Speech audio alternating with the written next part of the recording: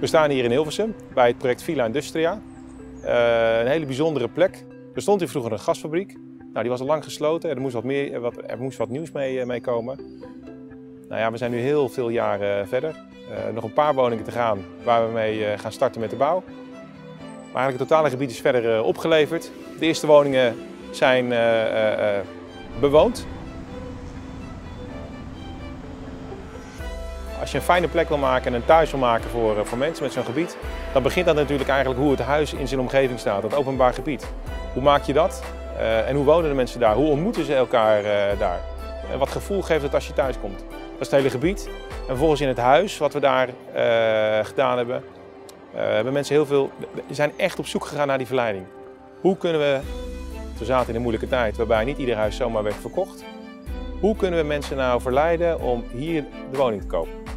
Ja, er waren eigenlijk verschillende. Uh, we wilden graag nieuwbouw, omdat je dan ook zelf nog heel veel kan aanpassen in de woning en de woning kan maken zoals je wilt.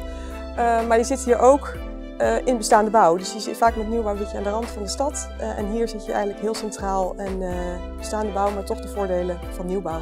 Dus dat was een van de punten ja, waar we echt voor zwichten. Nou, wat heel erg leuk was, kijk, dat is natuurlijk dat gebied, maar die woning zelf. Uh, wat we daar gedaan hebben is naast uh, heel veel keuzevrijheid om uh, je indeling zelf te kunnen kiezen. Hebben we gezegd we gaan er een standaard een hele mooie keuken in maken. We gaan er standaard een mooie badkamer in maken, mooie binnendeuren. We zijn heel erg op zoek geweest om, om dat echt goed te doen. Maar dat was niet genoeg. We wilden echt naar iets waar we echt die glimlach bij de mensen op het gezicht konden toveren. En zeggen, hé, hey, als ik op een feestje kom, dat ga ik vertellen. En dat is een gashaard geworden. En dat is ook gelukt. De gashaard stond al op ons wensenlijstje.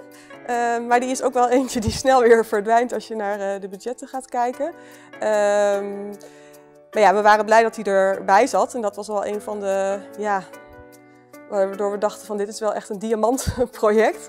Van oh, ook nog die gashaard die er standaard in zit. En toen zijn we gaan kijken van ja, wat is dan de standaard haard die erin zit. Ja, dat was eigenlijk precies ook uh, ja, waar onze behoefte zat. Dus vandaar dat we voor de standaard oplossingen hebben gekozen. En, en daar heel blij mee zijn.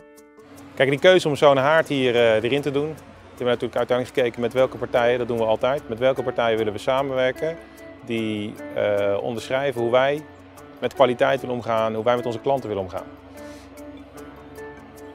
Wij werken al vaker met, uh, met Van Wanen samen en dat naar volle tevredenheid. En dat hebben we hier ook gedaan. En ook hier is dat, is dat heel goed gegaan en krijgen we dat ook terug. Belangrijk daarin is dat je mensen iets wel aanreikt van hé hey, kijk eens, dit kan hartstikke mooi worden voor in jouw huis, maar dat het een eigen keuze blijft. Dat hebben we hier ook gedaan. De haard zat er standaard in. Maar mensen konden ervoor kiezen om te zeggen, nou laat de haard er maar uit en geef mij het, uh, het geldbedrag maar gewoon uh, terug. Dus kregen ook het volle pond terug. Uh, en wat dan heel mooi is om te zien, dat op één enkeling na, die helemaal niets heeft met de haarden, iedereen die haard erin heeft gehouden. En dat is voor mij wel heel erg bepalend. Want dat zegt iets over dat je de juiste keuze hebt gemaakt. Dat dat inderdaad voor mensen belangrijk is. Maar het zegt ook iets over dat mensen onderschrijven dat we dat met de juiste partij hebben gedaan. Omdat ze vertrouwen hebben in die partij om die haard bij hun in de woning te maken. En dat hebben we net ook gehoord van Joyce, die daar heel erg blij mee is. De haard gebruiken we elke dag. Uh, het is natuurlijk nu nieuw, hè? we wonen hier net dus, uh, en het is het seizoen, de winter, dus uh, nou, het is lekker om de haard elke dag aan te hebben. Dus meestal tijdens het koken gaat hij aan en staat hij de hele avond aan en nou, we genieten er heel, veel, heel veel van. Het geeft enorm veel warmte af, dus dat is ook echt lekker.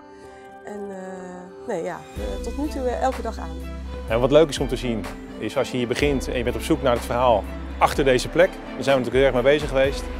Dat is dat, die gasfabriek die hier heeft gestaan. En dat mensen hier naartoe kwamen vroeger in Hilversum om hun gas op te halen. Om thuis de lampjes aan te maken, eten te koken, etc. Naar de plek die het nu is. En dan zit je uiteindelijk bij iemand thuis op de bank waar de gashaard aan is. En je voelt lekker de warmte. en je ziet wat dat met mensen doet. Een tevreden klant. En daar hebben we het voor gedaan.